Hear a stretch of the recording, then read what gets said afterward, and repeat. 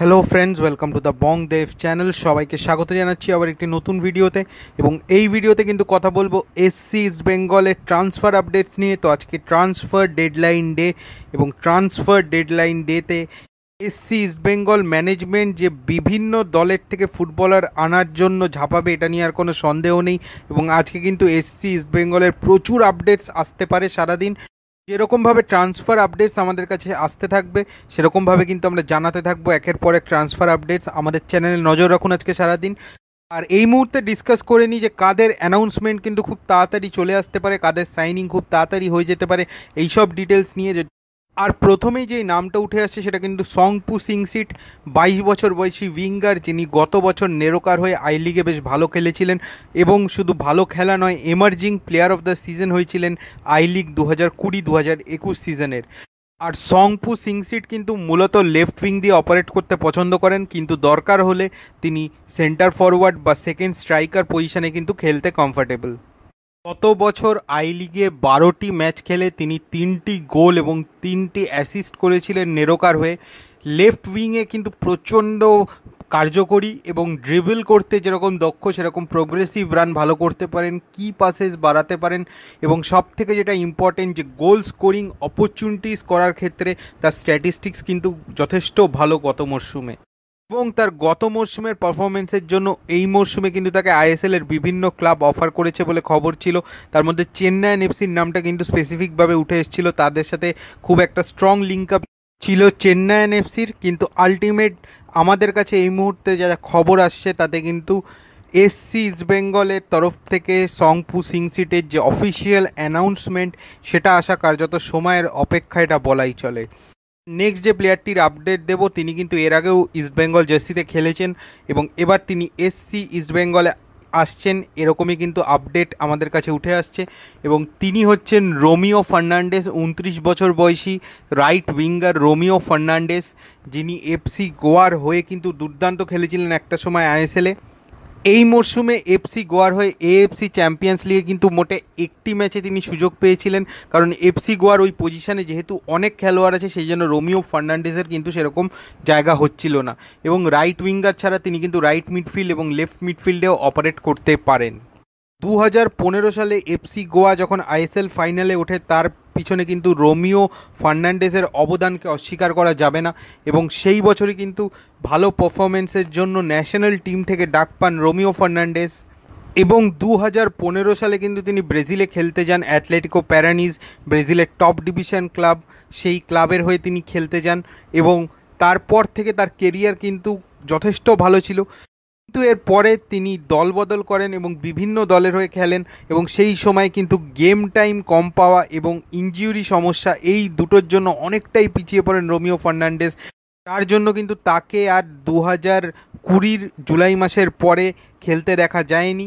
কিন্তু এরপরে দু হাজার একুশের ফেব্রুয়ারি মাসে তিনি কিন্তু এফসি গোয়া রিজার্ভসে যোগ দেন এবং তারপরে এফসি গোয়া মেন টিমেও সুযোগ পান এবং এএফসি চ্যাম্পিয়ন্স লিগেও কিন্তু তাকে নিয়ে যাওয়া হয়েছিল, যদিও সেরকম গেম টাইম পাননি, তো এটা কিন্তু রোমিও ফার্নান্ডেসেরও লড়াই ফিরে আসার এসসি ইস্ট বেঙ্গলে। তিনি কিন্তু একটা নতুন পর্যায়ে শুরু করতে চলেছেন তার কেরিয়ারে তো দেখা যাক রোমিও ফার্নান্ডেস কতটা সফল হন এসসি ইস্ট বেঙ্গলে।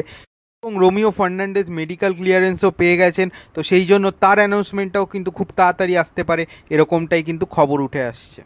আর এছাড়াও কিন্তু তেইশ বছর বয়সী আইজল এফসির রাইট ব্যাক ভ্যানলাল জুইডিকাকে কিন্তু সই করাতে পারে এসসি ইস্টবেঙ্গল এরকমই ট্রান্সফার আপডেট উঠে আসছে। তারা কিন্তু একজন রাইট ব্যাকের খোঁজে ছিল এবং ভ্যানলাল জুইডিকার দিকে তাদের কিন্তু নজর আছে এবং কথাবার্তা অনেকটা এগিয়ে গেছে।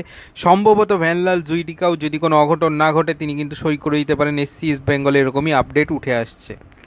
আর এই ভ্যানলাল জুইডিকাও কিন্তু রাইট ব্যাক ছাড়াও লেফট ব্যাক এবং সেন্টার ব্যাক পজিশনেও খেলতে পারেন যদি দরকার পড়ে। তো ফৌলারের ফরমেশনে কিন্তু এই ধরনের খেলোয়াড় খুবই কার্যকরী ভূমিকা নিতে পারেন। এবং আগের ভিডিওগুলোতেই বলেছি যে শুভ ঘোষ কিন্তু এসসি ইস্ট বেঙ্গলে আসতে পারেন, একটা উজ্জ্বল সম্ভাবনা রয়েছে এবং তিনি এসসি ইস্ট বেঙ্গলে কেরালা ব্লাস্টার্স থেকে লোনে আসতে পারেন, এরকমটাই কিন্তু ট্রান্সফার আপডেট উঠে আসছে। আর এছাড়া আরেকজন খেলোয়াড়ের বিষয়ে বলা সেটা হচ্ছে রাহিম আলী, তার নামটা কিন্তু অনেক জায়গা থেকে উঠে আসছে। তো রাহিম আলীর বিষয়ে এসসি ইস্টবেঙ্গল ম্যানেজমেন্ট কিন্তু ইন্টারেস্টেড ছিল। কিন্তু যেহেতু ডামাডোলের একটা পরিস্থিতি ছিল, সেই জন্য কিন্তু এসসি ইস্টবেঙ্গল এর আগে তাকে সই করাতে পারেনি। তো এই মরশুমেও কিন্তু ট্রান্সফার কোনোভাবেই সম্ভব নয়। রাহিম আলীকে যদি আনতে হয়, তাহলে কিন্তু লোনে চেন্নাই এনএফসির থেকে এসসি ইস্টবেঙ্গল চাইলে আনতে পারে। আর গতকালই কিন্তু জানিয়ে দিয়েছিলাম যে সারিনিও ফার্নান্ডেজ সই করবেন এসসি ইস্টবেঙ্গলে এবং ফুটবল সাংবাদিক মার্কাস মার্গিলও কিন্তু এটা কনফার্ম করেছেন যে সারিনিও ফার্নান্ডেজ একটা পারমানেন্ট ডিলে এসসি ইস্ট বেঙ্গলে আসছেন এফসি গোয়া থেকে।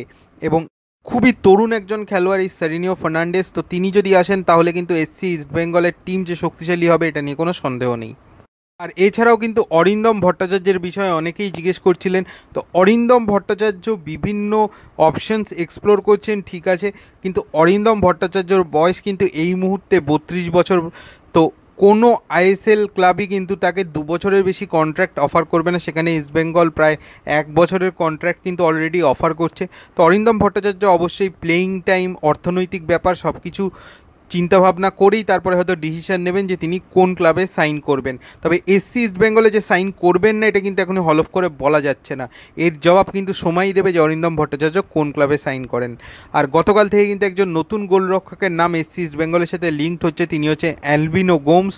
তো অ্যালবিনো গোমসের ক্ষেত্রে যেটা বলা হচ্ছে যে অ্যালবিনো গোমস যদি আসেন ইস্ট বেঙ্গলে, তাহলে কিন্তু সেটা অরিন্দম ভট্টাচার্যের জন্য হবে। যে অরিন্দম ভট্টাচার্যকে যদি কেরালা ব্লাস্টার্স তুলে নেয়, তাহলে অ্যালবিনো গোমস গেম টাইম না পেয়ে এসসি ইস্টবেঙ্গলে লোনে আসতে পারেন, এরকম একটা সম্ভাবনার কথা কিন্তু উঠে আসছে।